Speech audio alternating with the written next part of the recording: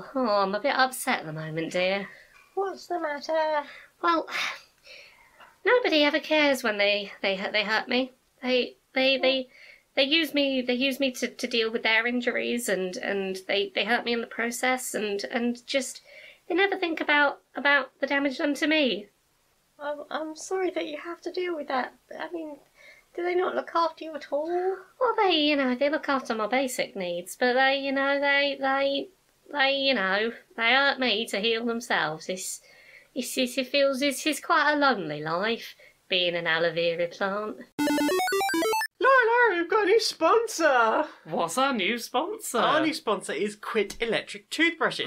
oh goodness, electric toothbrushes. Tell me more about them. Are you tired of moving your arm up and down when you're brushing your teeth? That's so much unnecessary effort. I'm going to bed. I don't want to do exercise. Why not have electricity do it for you? Exactly. Why do the basic amount of arm movement when electricity can just buzz around, do all them jobs? That's brilliant. Yeah. So how does it work? Well, you you uh, if you order through us with our product code, which is uh, QPS53, you can get your first battery for your electric toothbrush for half price.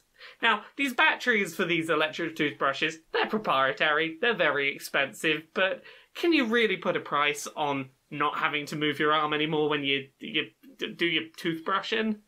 Uh, well, I, I don't think you can.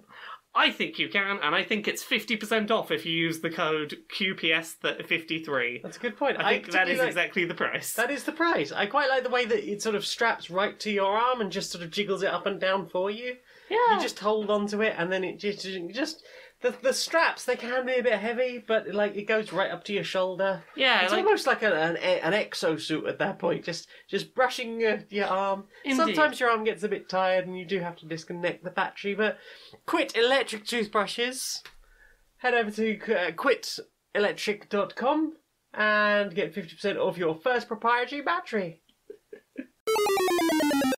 Inside the boardroom of Electronic Actisoft. Hi, hi. Hi, uh, uh, what's what's going on? So, so I called this meeting because uh, I think I've had I think I've had a brand new idea for how we can uh, make our video games even more profitable than they already are.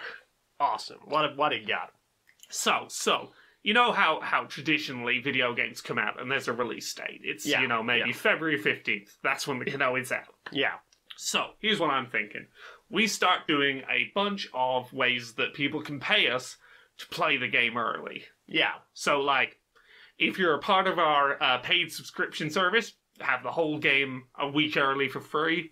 Uh, you know, if you pre-order it, you can get the first ten hours of it a week early for free. Sure. If you, uh, you know, all these sort of things that you're going to give us extra money. You know, uh, a lot of these require you to do it in advance. So, like, Mm, you're you're putting money down before the reviews happen. So, like, Yeah. not only are you paying us extra money, but like you don't get to find out that the game is bad before you pay for it. I mean, we, we we just can't have that anyway. Exactly, exactly. And like the genius part of this is we're not actually giving them the game early. We're giving people who don't pre-order the game and don't pay for the subscription. We're giving it to them a, week late.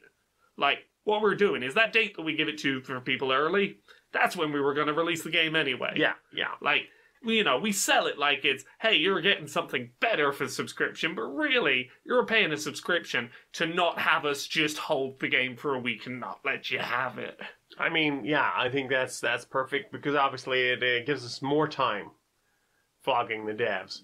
And uh, yeah, I think this is great. It'll also be great if we can put this maybe in with some of our uh, our gold packages so that for the pre-orders, uh, but not all of them. Oh, yeah, yeah, you gotta make it confusing. Yeah, yeah, So, when we release the game, if it's full of bugs and, you know, all sorts of game breaking problems, we, we can, we have a week of the excuse of just, it's not really out though. This is just the early release. You know, it'll be fixed by next week. Yeah. And, you know, that gives us a week to look at which of the things do they actually care about? Like, which ones is it going to actually hurt our bottom line not to fix?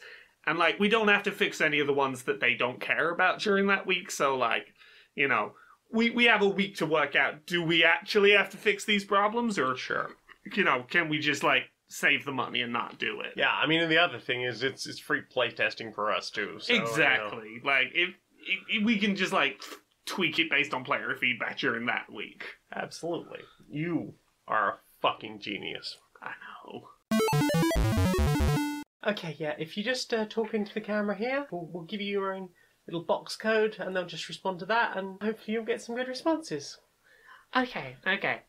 Hello, I'm Veltari. I'm a tiefling. I am a character from a D&D universe and I'm looking for love. Uh, I have big old, big old demonic horns. I play electric guitar. Um, I have a big old manticore friend who who stands behind me and makes me look very cool while I do it. And I used to be a murderous evil person, but like I'm good now. I'm friends with a with a troll called Wolf. It's all great. Um, I'm a I'm just your friendly bard looking looking for friendship and maybe cute demon girls. And can, what can you tell us about the sort of person that you're looking for? They would ideally look cool and demonic and just be able to stand next to me and go, "Yeah, that's that's a cool that's a cool demonic looking couple." I am Grog, yes. Looking for shiny, shiny, yes. Many good shiny, yes, yes. Um, Grog, me, uh, I'm handsome fellow, as you can see. Have whole treasure hoards. No, I'm not treasure hoards. No, no one knows about the treasure hoard. Hmm. I don't want people to just want me for my hoard, you know. Uh, could we cut that bit out? Yeah, yeah, that's fine. Okay, uh, so, yes, looking for a nice princess, maybe. Ransom back to daddy. or prince, not mine. And go. Hi, I'm uh, I'm Frank. I am a wizard who uses trading cards to uh, to cast my spells. I'm very good at them trading trading cards, and uh, I I'm I'm just looking for for a nice man to settle down with. Uh, I've had I've got kids, don't live with them, but I'm a I'm a family man, and uh, you know. I, I, I like I like trading cards and magical battles, and definitely not electrocuting people to death with my electric spells. No, definitely didn't do that one. Also, I think I might be in charge of a country. It my my story went some places. Alright, um, Ellie, I have been known to uh, get into trouble now and again. I'm not one who particularly values things like money and stuff.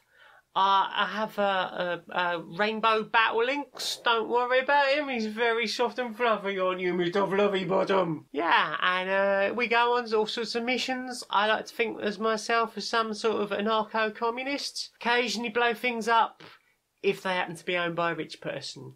Ideally, what I'm looking for is somebody into shenanigans and really deep hand in sex of any gender or, or you know, age above consent. Oh, I'm Leonora Melbeck. I'm a space hippo lady. I like getting drunk. I am a pansexual polyamorous. I I I'm just all about finding love wherever it may be, no matter your species or race or class.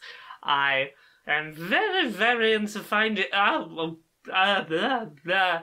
oh no! I screwed. up. I screwed up my sentence there. Give me a second. I'm just gonna re-roll. Oh, there we go. 21 charisma. That's better. So, yes, I'm just looking to add more smoochable cuties to my map of smoochable cuties across time and space. Wonderful. Definitely fix that botched charisma roll. So, it's nearly little Tamara's birthday. Yeah, yeah, So, Mummy's going to be wrapping some presents, right? yeah. And we don't want to make that easy. No, No, no. no, Because no. uh, where's the fun in it being easy? We only get to come out when it's a special occasion. Give it five minutes, we're back in the cupboards. Exactly. If we can just screw things up a little bit, we get to have more time out actually, you know, seeing the house. Absolutely, absolutely. So, hopefully, we've got a plan. I, Tape, will be taking the lead. Every time I'm put down, I am going to wrap up as tight as possible and make that end as smooth and flat against me as possible. She she will be just rolling a fingernail around and around me, and she won't be able to get a good purchase. Scissors, what have you got? Well, I'm going to be just shuffling across the table and hiding behind like a book that's over there or under that envelope. Just not going far enough away that something seems suspicious, but far enough away that it's going to take a good few seconds to find me. Like she's just put you down somewhere and you've already gone. Exactly. Now, what are you gonna do, Paper?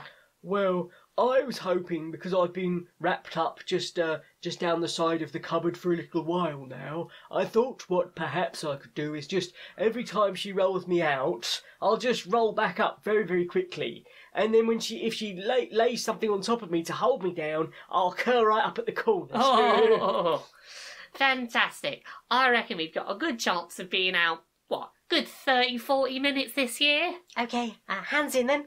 Go, team!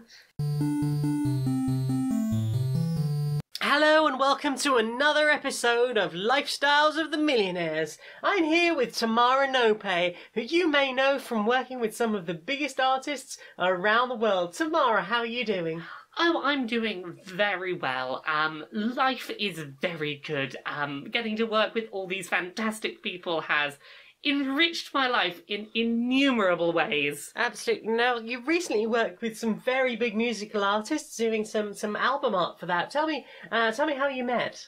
Ah, well, we met because they went on Twitter and they said, "Hey, anyone want to do free art for our next album? You'll get to be on the cover. Like, we won't pay you, but you'll you'll get to be able to tell people you were you did the cover for our album."